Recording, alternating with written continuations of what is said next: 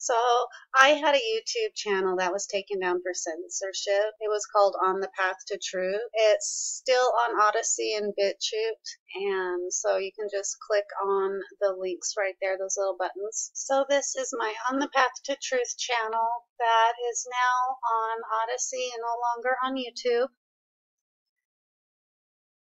This was the final video that got me taken down it was not even the video uploaded, it was just the intro to it. And then this one right here, this interview, this one also got me in trouble.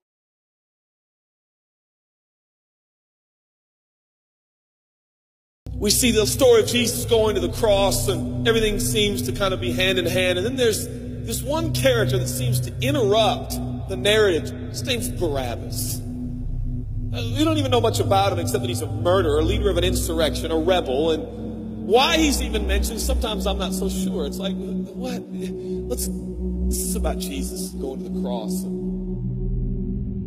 So in this moment, Pilate thinks, I hold the destinies of these two men in my hand. I know the Jews have a tradition that on a holy day, I will release one of the prisoners on death row. Pilate stands on this audacious stage who now presents Jesus, Son of the living God, versus Barabbas, the thug and rebel. He says, All right, who do you want? This is blasphemy. This is this has gone too far. There's no comparison. This is a rightful prisoner, a man who should be on death row. He's a rebel against Rome. He leads a, a rebellion. He murders people. He's a bad man. He's a thug and he's a crook. He deserves the chains and he deserves the crucifixion. Jesus? What has he done but heal, restore, deliver, set free, open blind eyes, open deaf ears, heal the lame and the leper? What, what has Jesus done? Who do you want? We, we want Barabbas. Yeah. Give us Barabbas.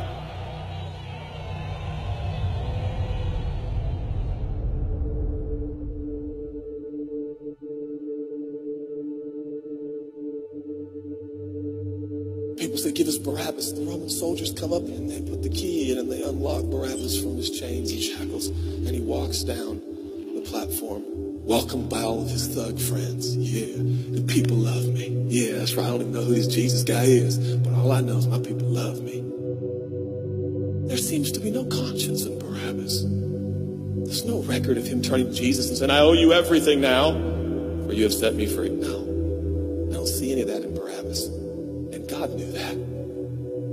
Jesus stood there, silent, for he knew the will of the Father. He said, It's fine, Father. Let him have Barabbas. For Jesus knew that the Father would have to treat Jesus like Barabbas so he could treat Barabbas like Jesus. Barabbas thought it was the people that set him free. No, no, no, no. It was the love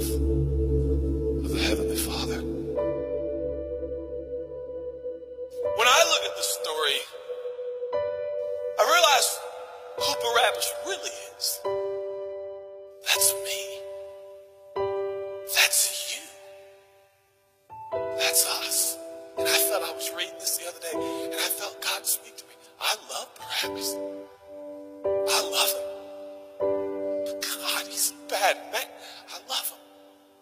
And I wanted him to go free. But didn't you know that he probably would have never acknowledged the free kid? Yeah, but I love Barabbas. For while we were still sinners, Christ died for us. God sent his son for Barabbas, even the one he knew would walk away from Jesus and his free gift and never come back. He loves them. And the nerve, the gall, the audacity of believers to think, I got saved by grace, but now that I'm in this deep, dark place of bondage, I better work hard to get myself out. What? That's the opposite of the gospel. Are you bound? Are you held under the power of this temptation, this sin, the sexual urges? Do you feel like it's controlling you? What are you going to do? I'm going to shake myself free. Stop it! No, you won't. You're no match for the powers of hell and the urges of sin and sexual temptation. You will not overcome it and you will never overcome it. You'll just be another statistic. There's no answer within yourself. Your own marriage, your own goodness, your own discipline, your own devotion will not save your marriage and will not save your kids. There's only one. And he's the one that took your place. He's the one that stood silently on the platform with Pilate and said, Yes, let him have Barabbas. Take me. How many times have I stood on that platform with Pilate and Jesus, and I'm the Barabbas, and they start to take my chains off, and I say, No, no, I deserve this. I deserve the guilt. I deserve the shame. I deserve the consequence. I deserve it. Jesus seems to look at me, say, No, son, let me have it. Let me have your sin. Let me have your pain. No, God, I did it to myself. I deserve it. My marriage won't make it. This is what I deserve. I deserve divorce. I deserve poverty. I deserve sickness. I deserve it all. No!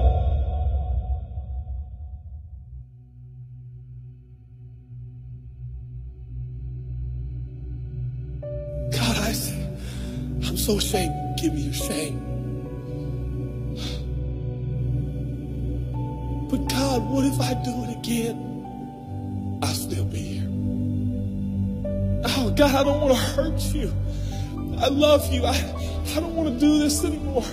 Give me your sins, son.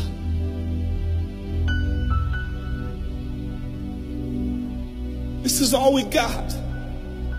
It's all I got. It's all you got.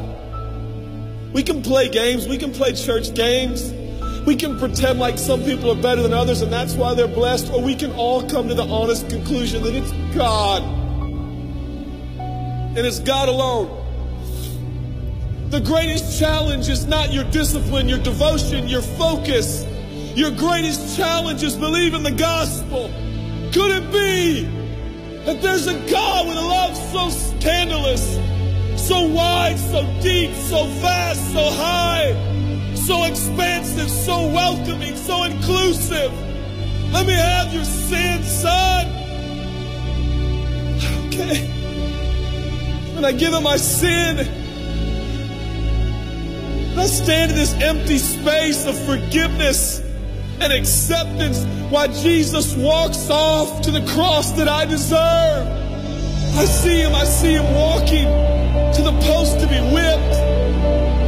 As I stand a free man, all the attention is turned now. And I feel the love of God saying, Go, son, live your life. I'll pay the price. Where did we get off? thinking that we were going to set ourselves free.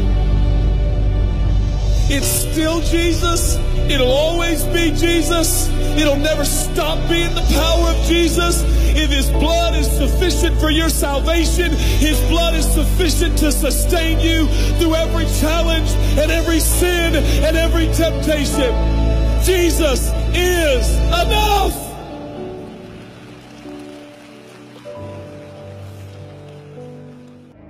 the gospel. God sends his son into the world, the God man,